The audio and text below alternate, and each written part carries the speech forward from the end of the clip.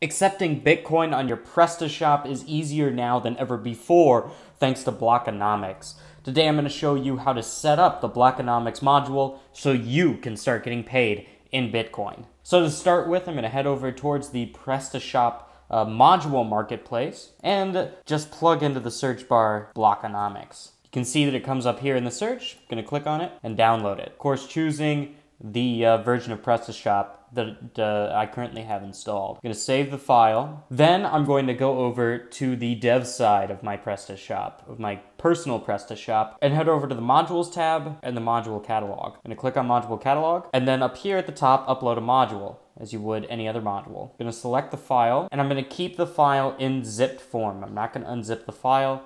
PrestaShop does it for you. Gonna click open and we'll go through the install process. Once that's done, I click on configure. At this point, you are actually set up to accept uh, Bitcoin on your store, however, and be able to get your uh, sales directly to your wallet, uh, you're going to want to head over to the Blockonomics website. You can click on the Merchants tab down here, and it will take you right there. You're going to create an account, so you'll click on Get Started for Free and enter in your email and a password. Standard activation and account creation, you're gonna get an, uh, an, email to your account. Just copy and paste the code in here. Now you'll need to get your XPub. Uh, this is, you can get that from your wallet.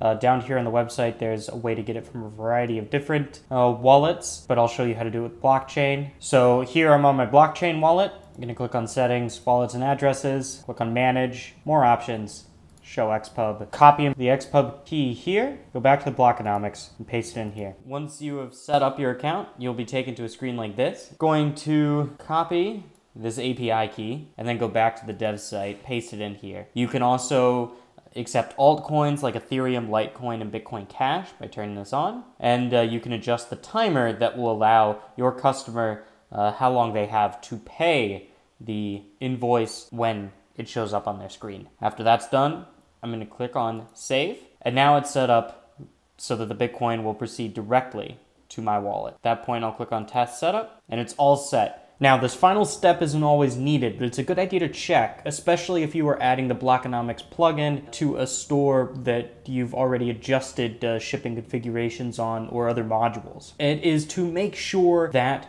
Bitcoin is allowed to pay for the shipping module that you have. In order to do that, I'm going to click on payment and then preferences and then scroll down to the carrier restrictions. And in this case, because I was doing a fresh install, it's all checked, but I'm going to make sure that the Bitcoin Blockonomics is checked for all of the shipping carriers that I have, and then I'm gonna click save. So to show you how it works, uh, I am ready to purchase my nice hummingbird sweater, filled out all of my information at the cart, got my address loaded in, and then the shipping method, Gonna click on that. And then finally, I can click on pay with Bitcoin and agree. And you will see here that I can then, as a customer, send the Bitcoin to the address either listed here or by using the QR code. And it's that easy. You are now set up to sell your products on PrestaShop with Blockonomics.